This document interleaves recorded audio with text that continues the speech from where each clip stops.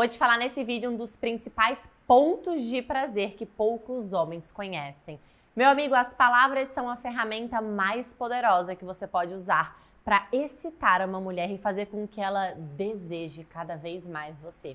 E esse vídeo eu vou te mostrar exatamente como usar as suas palavras para você enlouquecê-la na cama e ela pedir bis. E mesmo que você nunca tenha falado coisas picantes, umas sacanagens na cama, eu vou te ensinar e da próxima vez tu vai ver o efeito que isso traz. Daí tu deve estar se perguntando, tá, Amanda, mas por que que eu tenho que falar essas coisas picantes, sacanagens, putaria na cama. Quando você diz coisas mais picantes, atrevidas para uma mulher durante o ato sexual, você está estimulando o cérebro dela, que é de certa forma além do toque. Isso é importante porque o cérebro, ele é o órgão sexual mais responsível de uma mulher. E ao falar coisas picantes, aquelas putarias mesmo, você está envolvendo o cérebro dela de uma maneira que o toque não consegue de forma alguma tornando a experiência muito mais prazerosa e gostosa.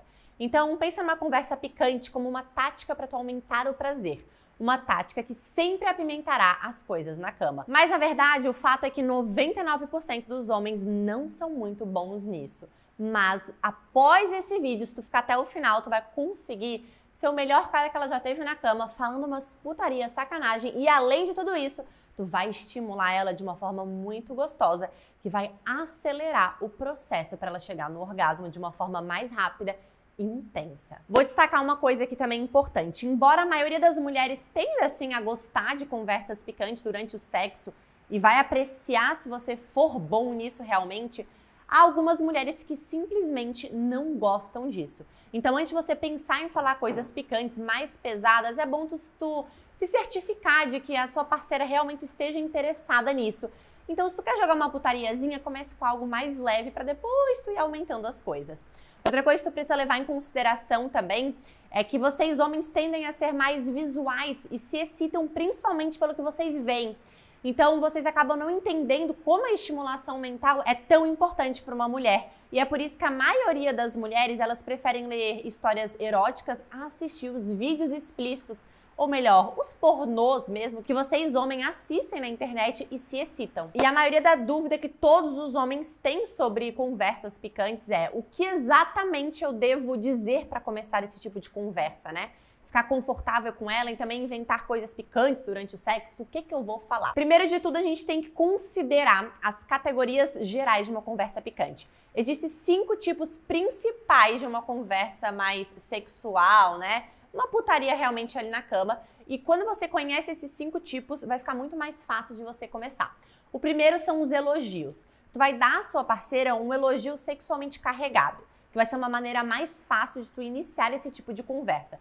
Por exemplo, tu pode começar dizendo para ela: "Nossa, você fica tão sexy nessa lingerie", ou "Você tem a bunda mais gostosa que eu já vi".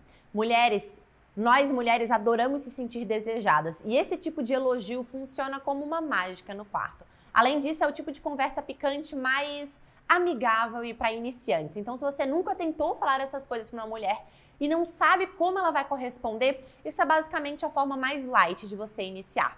O segundo tipo é o de memórias. Isso envolve você referenciar aventuras sexuais passadas como uma forma de tu construir uma antecipação e uma excitação. Isso não é feito durante o ato sexual, mas como uma preparação antes de ir para a cama ou ali durante a preliminar. Então você pode falar, por exemplo, eu não consigo parar de pensar sobre a última noite. Você estava tão sexy e deliciosa. Ou os seus gemidos da última vez que a gente transou me deixaram muito excitado e eu não paro de lembrar. Esse seria o segundo tipo. Agora a gente passa para o terceiro tipo, que é o de narração. Esse é quando você acaba descrevendo exatamente o que está acontecendo durante o ato sexual. Por exemplo, nossa, você tá tão molhada agora, eu adoro sentir você toda molhadinha para mim. Ou também você pode falar assim: eu nunca estive tão duro, você é tão gostosa. O que torna isso ótimo é que você não precisa lembrar de frases ou cenários e ficar arquitetando muita coisa na tua cabeça. Tu apenas vai falar o que tá acontecendo ali naquele momento ou o que a sua parceira tá fazendo você sentir. Quarto tipo é o de direção. Esse tipo de conversa picante, ele envolve entrar no seu próprio filme, digamos assim, e dirigir a ação. Ou seja, tu vai dizer a ela o que você vai fazer com ela ou o que você quer que ela faça com você. Por exemplo, tu pode falar assim para ela: "Eu vou tirar toda a sua roupa assim que eu te ver".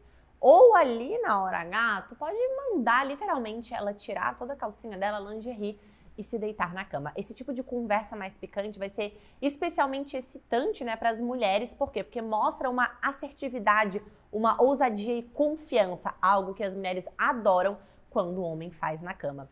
O quinto tipo são o de perguntas. Esse tipo de conversa, ele consiste em você fazer perguntas que incentivem a sua parceira a responder de uma forma mais ousada, mais picante, seja narrando as suas experiências ou oferecendo um elogio ou até mesmo dando direções de resposta para ela. Por exemplo, tu pode perguntar: você gosta de sentir isso tudo dentro de você? Ou onde você quer que eu goze? Essas perguntas são simples, mas o único cuidado é você não exagerar se tu não conhece exatamente, completamente uma mulher. E também não bombardeie a mulher de uma pergunta atrás da outra.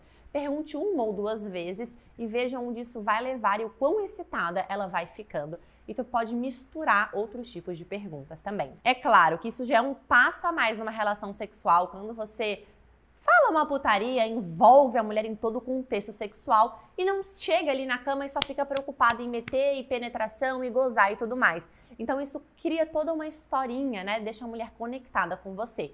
E também o que vai realmente dizer se ela vai chegar a um orgasmo ou não é o tipo de estímulo que você está dando para ela. E para isso, eu vou deixar uma aula avançada disponível para você no link da descrição desse vídeo e também o link vai estar disponível ali no comentário fixado. Nessa aula gratuita eu vou te mostrar duas técnicas que é capaz de você fazer qualquer mulher ter múltiplos orgasmos e até mesmo chegar a um squirting independente do tamanho do seu pau.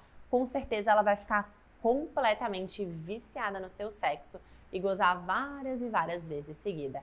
Essa aula não vai ficar no ar por muito tempo, então se eu fosse você, aproveitava, clicava aqui no link e assistia ela até o final.